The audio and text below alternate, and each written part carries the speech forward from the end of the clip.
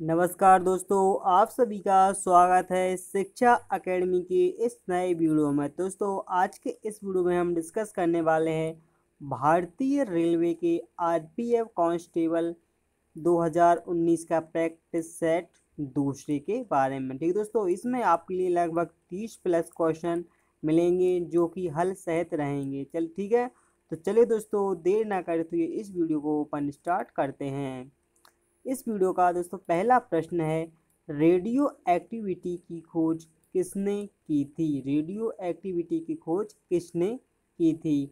Option है Joseph Priestley option B Aryabhata option C madam Curie, option D है Henri Becquerel. तो दोस्तों इसका सही आंसर है ऑप्शन नंबर डी, यानी कि हेनरी बेकुलर ने रेडियो एक्टिविटी की खोज की थी, ठीक है?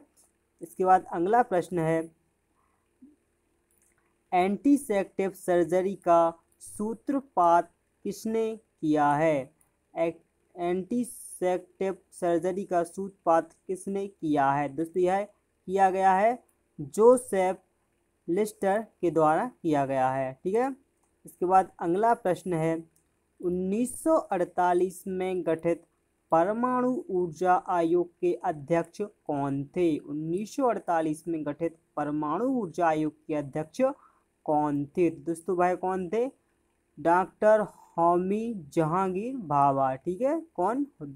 डॉक्टर होमी जहांगीर बाबा थे, ठीक है?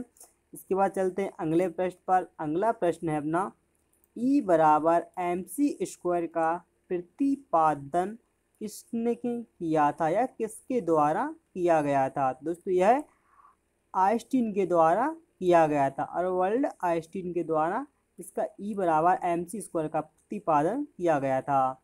इसके बाद अगला प्रश्न है, सापेक्षता का सिद्धांत किसने दिया था? सापेक्षता का सिद्धांत दिया था या फिर किसने दिया था? दोस्तों, यह किसने दिया था? यह भी आइंस्टीन ने ही दिया था, सापेक्षता का सिद्धांत। इसके बाद चलते हैं अगले प्रश्न पर। देखिए, अगला प्रश्न है, भारतीय आंतरिक्ष अनुसंधान संस्थान यानी कि इसरो कहाँ स्थित है? इसरो का मुख्यालय हेडक्वार्टर कहाँ पर स्थित है? दोस्तों, यह बेंगलोर, कर्नाटक के अंदर स्थित है। कर्नाटक, बेंगलोर में स्थित है। अंतर्राष्ट्रीय अनुसंधान संस्थान इसरो का मुख्यालय कहाँ पर? बेंगलोर में स्थित है। इसके बाद अगला प्रश्न दिया गया है अपना। चंद्रशेखर वेंकटन रमन को नोबल पुरस्कार कब मिला था? चंद्रशेखर वेंकट रमन को नोबल पुरस्कार कब प्रदान किया गया था कब मिला था दोस्तों? यह 1930 में दिया गया था। कब? 1930 में दिया गया था। इसके बाद अगला प्रश्न है, परमाणु के नाभिक की खोज किस, किसने की थी या परमाणु में नाभिक की खोज किसके द्वारा की गई थी? तो दोस्तों, यह रदरफोल्ड के द्वारा की गई थी। ऑप्शन नंबर ए इसका सही आंसर है। इसके बाद अगला प्रश्न दिया गया है सूर्य के द्रव्यमान के 1.4 गुने द्रव्यमान को क्या कहा जाता है? सूर्य के द्रव्यमान के 1.4 गुने द्रव्यमान को क्या कहा जाता है? दोस्तों, उसे चंद्रशेखर नीमा सीमा के नाम से जाना जाता है। क्या? चंद्रशेखर सीमा के नाम से जाना जाता है। ठीक है? इसके बाद अगला प्रश्न दिया गया है। कैस्कोग्राफ नाबक यंत्र की खोज किसने की थी? कैस्कोग्राफ नाबक यंत्र की खोज किसने की थी? दोस्तों, यह जगदीश चंद्र बोस के द्वारा की गई थी कैस्कोग्राफ की खोज, ठीक है? किसके? जगदीश चंद्र बोस के द्वारा की गई थी। इसके बाद अगला प्रश्न दिया गया है, the history of Hindu science की अनुपम कृति किसकी है? The history of Hindu science की अनुपम कृति किसकी है? यह किसके द्वारा लिखी गई है। दोस्तों, यह लिखी गई है मेघनाथ शाह के द्वारा लिखी गई है। ठीक है, किसकी कृति है? मेघनाथ शाह की यह कृति है। इसके बाद अगला प्रश्न है अपना। बारवा, चेचक के टीके की खोज किसने की थी? चेचक के टीके की खोज किसने की थी? तो इसका सही आंसर दोस्तों यह की थी जेनर ने किसने? एडवर्ड जेनर ने चेचस के टीके की खोज की थी।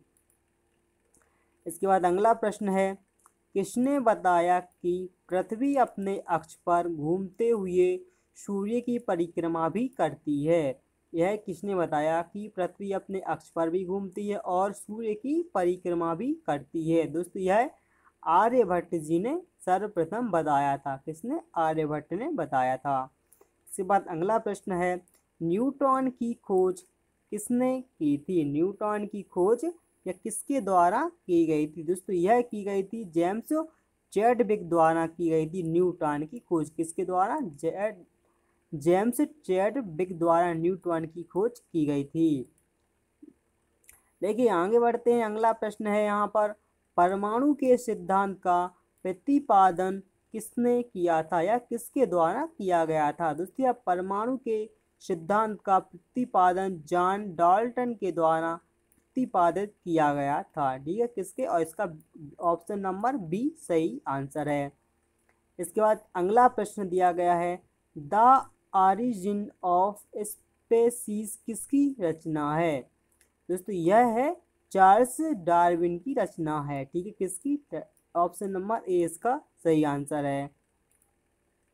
इसके बाद देखिए, अगला प्रश्न है यहाँ पर, राष्ट्रीय विज्ञान दिवस कब मनाया जाता है? राष्ट्रीय विज्ञान दिवस कब मनाया जाता है? दोस्तों, यह 28 फरवरी को प्रति वर्ष राष्ट्रीय विज्ञान दिवस के रूप में मनाया जाता है। कब? 28 फरवरी को राष्ट्रीय विज्ञान दिवस के रूप में मनाया जाता है। इसके बाद अगला प्रश्न है हाइड्रोजन को तत्व के रूप में किसने खोजा था? हाइड्रोजन को तत्व के रूप में किसने खोजा था? दोस्तों, यह खोजा गया था हैनरी कैबेल्डिस द्वारा खोजा गया था, ठीक? कैबेल्डिस द्वारा खोजा गया था। देखिए, अगला प्रश्न है यहाँ पर, रक्त परिवहन की खोज किसने की थी? रक्त परिवहन की खोज किसके द्वारा की गई थी? दोस्तों, यह की गई थी विलियम्स हार्वे के द्वारा की गई थी किसके विलियम्स हार्वे के द्वारा रक्त परिवहन की खोज की गई थी। इसके बाद देखिए, अगला प्रश्न है यहाँ पर, एक्सरे की खोज किसने की थी? एक्सरे की खोज किसने की थी? दोस्तों, एक्सरे की खोज की थी डब्ल्यू सी रॉन्ट जन ने। इसका ऑप्शन नंबर बी इसका राइट आंसर है। डब्ल्यू सी रॉन्ट जन ने एक्सरे की खोज की थी। इसके बाद अगला प्रश्न है यहाँ पर जड़त्व का नियम को किसने प्रतिपादन किया था? जड़त्व के नियम को किसने प्रतिपादित किया था? दोस्तों, जड़त्व के नियम को गैलीलियो द्वारा प्रतिपादित किया गया था। ठीक है, किसके? गैलीलियो द्वारा यह प्रतिपादित किया गया था। इसके बाद अगला प्रश्न है यहाँ पर। गति के नियम किसने दिए थे? गति के नियम किसने दिए हैं? दोस्तों, गति के नियम न्यूटन द्वारा प्रतिपादित किए गए थे, या फिर यहाँ बोल सकते हैं कि यह नियम जो है, यह न्यूटन के द्वारा दिए गए थे। चलते हैं, आगे बढ़ते अगला प्लस प्रश्न है यहाँ पर, भारत का वर्ल्ड बर्ड मैन किसे कहा जाता है? भारत का वर्ल्ड मैन किन्हें कहा जाता है? दोस्तों, भारत के जो बर्ड मैन है, उन्हें डॉक्टर सलीम को कहा जाता है। यानी कि डॉक्टर सलीम जो हैं, सलीम अली, उनके लिए बर्ड मैन के नाम से भी जाना जाता है। ठीक है? इसके बाद अगला प्रश्न है यहाँ पर अनुवांशिकी खो, कोट की खोज किसके द्वारा की गई थी? या अनुवांशिक कोट की खोज किसने की थी? दोस्तों, यह की गई थी हर हर गोविंद खुराना जी ने। किसके? हर हर गोविंद खुराना जी द्वारा अनुवांशिकी कोट की खोज की गई थी। ठीक है? इसके बाद अगला प्रश्न है यहाँ पर टेलीस्कोप का निर्माण किस, किसने किया था या किसके द्वारा किया गया था? टेलीस्कोप का निर्माण दोस्तों गैलीलियो के द्वारा किया गया था। किसके? गैलीलियो के द्वारा किया गया था। ठीक है दोस्तों, यह क्वेश्चन यहाँ इस वीडियो का था आखिरी क्वेश्चन यह वीडियो अब होता है यहीं पर समाप्त। हो यदि आपको यह वीडियो पसंद आया हो तो प्लीज़ वीडियो को लाइक करें चैनल को सब्सक्राइब करें। और दोस्तों नोटिफिकेशन पाने के लिए नोटिफिकेशन बेल पर आप ज़रूर क्लिक करें ताकि जो भी नया वीडियो अपलोड करूँगा, उसका नोटिफिकेशन आप तक आसानी से पहुँच सके। तो चलिए दोस्तों, मिलते हैं अगले नेक्स्ट वीडियो में। तब तक के लिए दोस्तों बाय